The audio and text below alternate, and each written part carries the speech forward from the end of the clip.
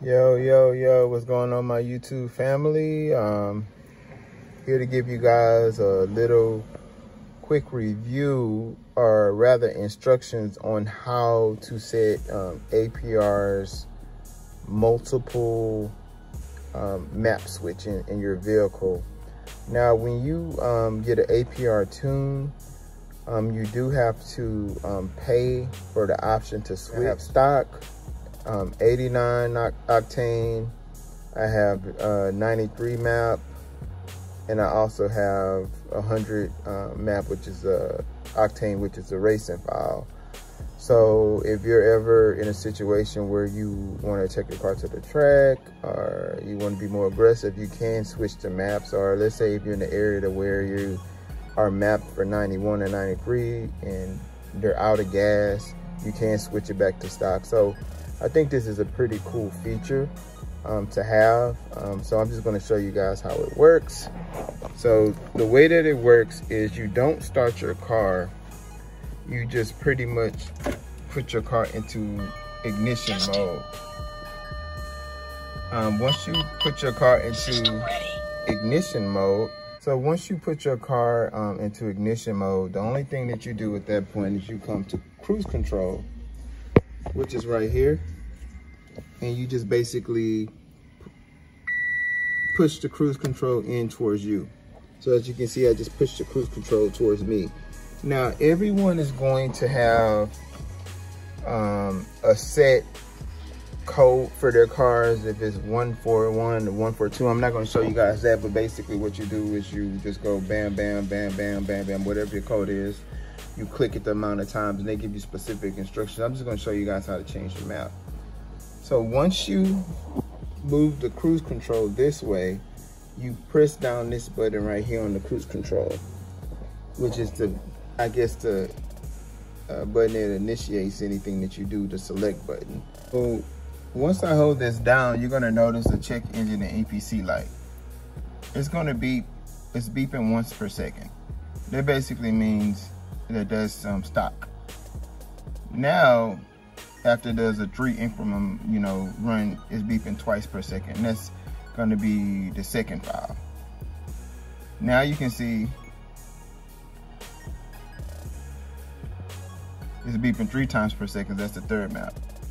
Then once it goes through three loops, it's going to be four times per second. That's the fourth map. So you just let it go anytime in between the, the map and then the EPC light is gonna blink four times to show you that you're on the fourth map. So that's pretty much it. You can start your car. I mean, you're good to go. I just want to kind of show you guys how it works with the um, tuning. So if you need to take your car back to the dealership, you want to put it on stock mode, you know, um, this is a good way you can do that. Um, so um, pretty cool feature. And also guys, this right here is gonna be the Revo SPS controller. And on the Revo SPS controller, you basically pre um, in the computer and you can, for example, you can put whatever file where you want where.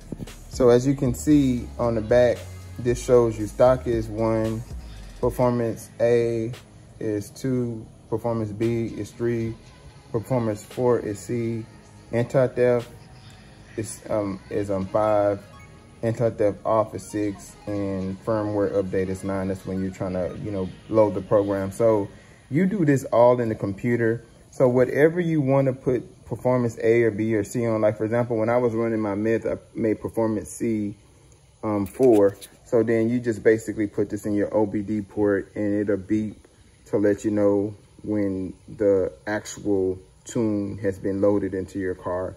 And as simple as that. The one perk in um, Revo though is you can actually set your timing. Um, your It's three things to tune and You have your boost, your timing, and your fuel. So you can actually change your timing, your boost, boosting your fuel, but that's that's why a lot of people scared of Revo because it gives you control of it. And a lot of people blow their engines because they put too much boost or not enough time in or they're running rich or running too lean. So you got to really know what you're doing in order to use this. But yeah, you can basically control um, or set each function and you can just come right over here and you can just put it on whatever map you want. So it's kind of the same as um, APR, only you plug it in and you and it, it'll be like twice or three times once you put it in. So that's if you're running Revo. Revo is a great company. The tune with Revo was definitely a lot more aggressive than APR. Although on top end, they're pretty much equivalent. I can say APR is like a right hook and Revo is like a jab.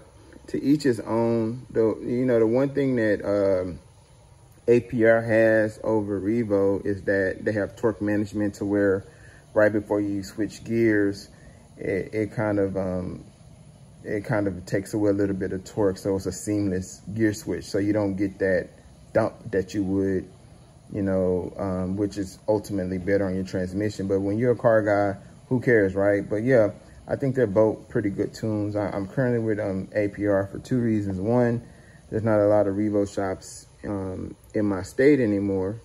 One, about six hours away. And two, um, I, you know, I still want my car to be able to function and, you know, take the weight it can. And, you know, like when I did, um, you know, some dyno comparisons um, to the two, they both ultimately you know, had the same top end power. So I'm basically getting to the same point, you know, at the same time. Now, if you want to do some fun, high spirited driving, then, you know, Revo is, a quicker on the lower end because it's just a more aggressive tune.